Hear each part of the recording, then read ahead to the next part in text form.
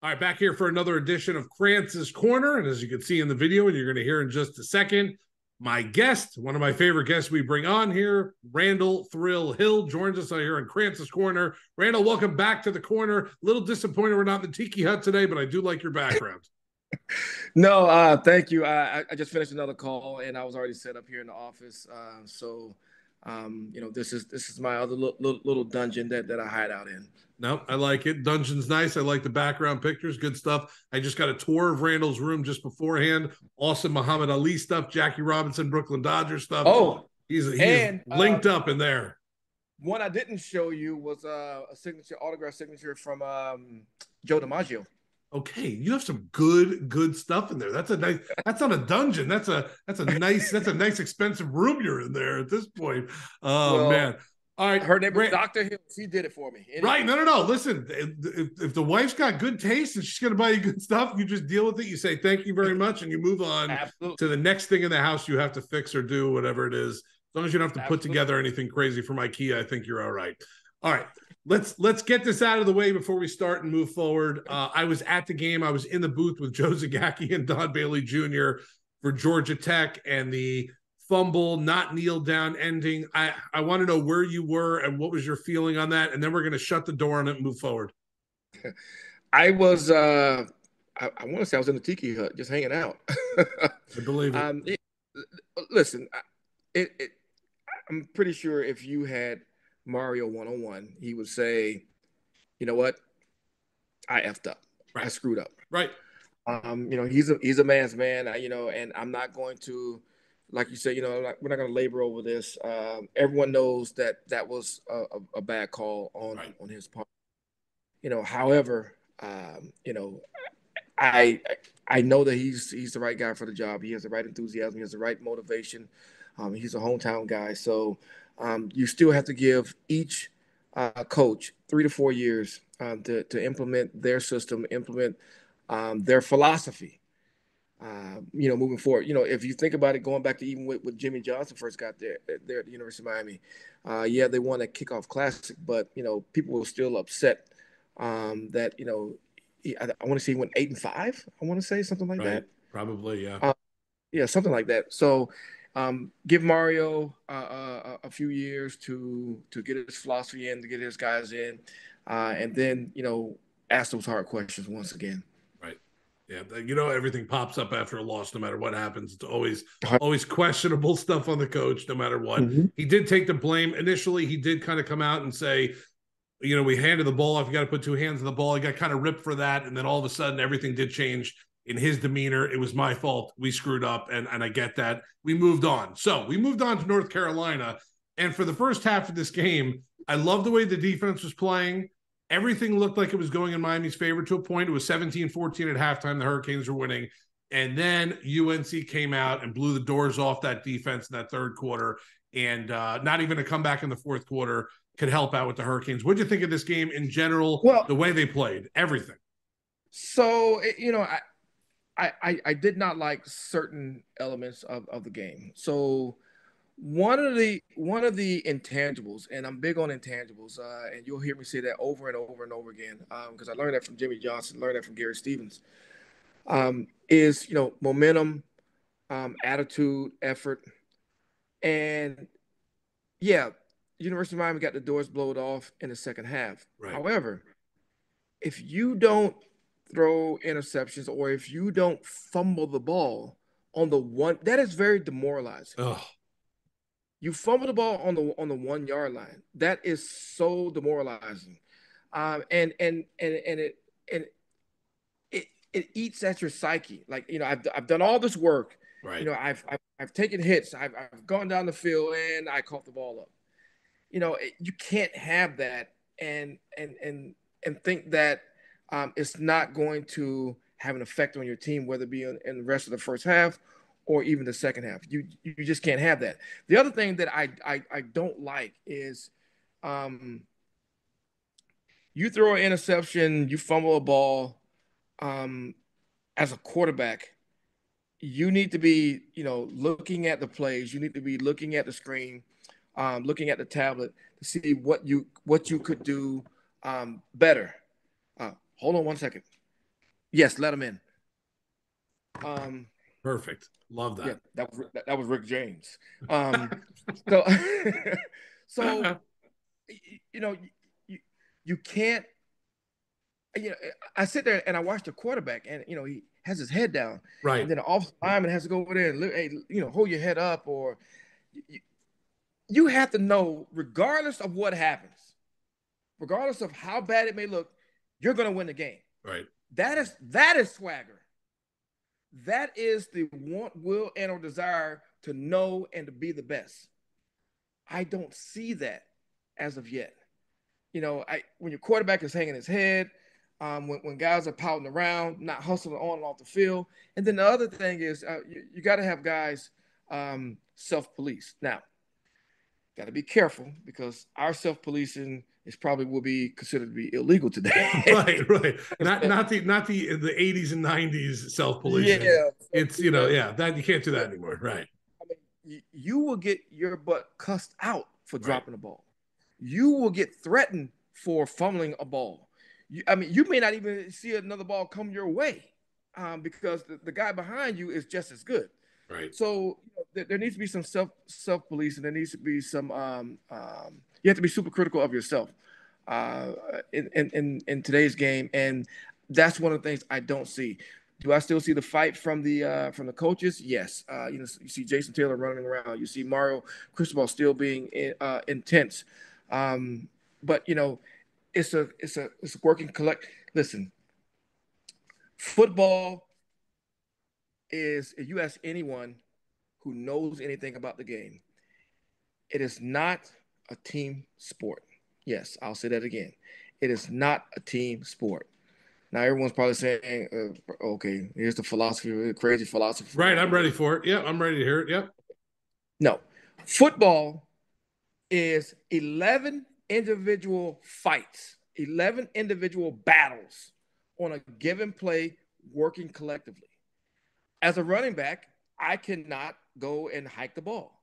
As a as a center, I cannot throw the ball and or catch the ball. So it's 11 individual battles working collectively as one. Win your battle, you win the game. If everyone wins their battle, if the quarterback wins his battle, we win the game. Right. Along with the center. Everyone win their battle and you'll win the game. And that's what I don't see. You have a breakdown here, a breakdown there um, this person doing doing something right, but this person doing something wrong. Win your battle, and you'll win the game. Yep. Hey, listen, I get it. It's it's it's the philosophy is there. I understand what you mean by that totally, and mm-hmm. I think it starts and stops with who we've been talking about the most right now is that quarterback, and when the demeanor of the quarterback is what it is, because he had in this game, by the way, I think in the three years he's played at the U, he mm-hmm. had his greatest pass, his number one pass and catch was in this game. I could not believe the throw was unbelievable. I think it was Jacolby George who might have caught that ball. Uh, and, and, it was just amazing. And the wide receivers are playing their game too. They're playing well yeah. out there too. Uh, that's and mm-hmm. that's something I'm glad I'm talking to you about because for how many mm-hmm. years mm-hmm. did we talk off air? Did me and you have a conversation? Did Ed you have a conversation with anybody about where the mm-hmm. damn playmakers? Where are these guys that have been at the U forever? They just don't seem to be there. They're stepping up this year. I have to give them credit where credit's due. The wide receivers playing pretty good. Absolutely. One second, you're going to see my trusted assistant walk behind me. Dr. Hill is going to walk behind me and open the door for someone. This is a this is a station break, real quick. station break. station break. we're we're good to go, right? That's okay. We're That's good to go. The power of this, right? The power of Krantz's Korner. We can do whatever we want, right? yeah. So no, I, the, the guys will be fine. I mean, right. I, I, the, the, the problem. It's not even a problem what has happened is um, South Florida is spoiled. 305 is, is spoiled. Right. 954 is spoiled. Yeah. Uh, uh, 561 is And you know what? Blame me for that. Blame me for that. Blame the guys who came before me for that. Um, but South Florida and the state of the U deserves to be spoiled. I have no problem with that at all. It's just that the guys now who are on the field who are actually making things happen have to make it happen. Right. Yep, you're 100. percent You're you're accurate. You're, you, if you're going to be here and you're going to play at the University of Miami, mm-hmm. you have to play. You have to be one of those playmakers, especially if you're a Broward County kid, Palm yes. Beach kid. I mean, we, we, we, know better. We know better. When you get a kid like that, it can be a three star kid in Palm Beach County. It's a five star kid in, in another state. It's the same thing. Yeah. That's that's just how yeah. it is down here. Okay, so we, we talked a little bit about Tyler. We talked a little about the wide receiver play. The defense for the beginning of part of that game was really playing well, and in the end of that game, they kind of they kind of you know didn't stop playing well. They just got bombarded in that third quarter. I think it was 21 points. I think North Carolina scored in that third quarter. Uh, that's mm-hmm. something you got to fix a little bit because you got a winnable game for the first time in a while against Clemson coming right. up this weekend, and one right. that I don't. I don't think the University of Miami can afford to lose this game this weekend because of what happened. If they would have beat Georgia Tech, lost to North Carolina, and then somehow lost to Clemson, I could say, okay, at this point, you lost to two pretty good, two pretty good teams. Let's move on. And this is a must-win game against Clemson this week. Am I right or wrong on this? Yeah, no. Every game is a must-win game. Um, you can't you can't falter because because of how the college uh, system is set up. Right. But University of Miami can, can bounce back uh, well, and they can still um, put their stamp on the season if they can go out and beat one of their nemesis uh, in, in in Clemson. Right. Um, it's it's it's a it's becoming more and more of a rivalry.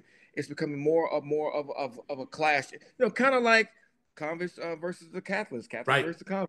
Right. um, Clemson is, you know, Clemson University of Miami. Um, that you know, it, it's it's it's definitely one that everyone's going to tune into, and the University of Miami can put itself back.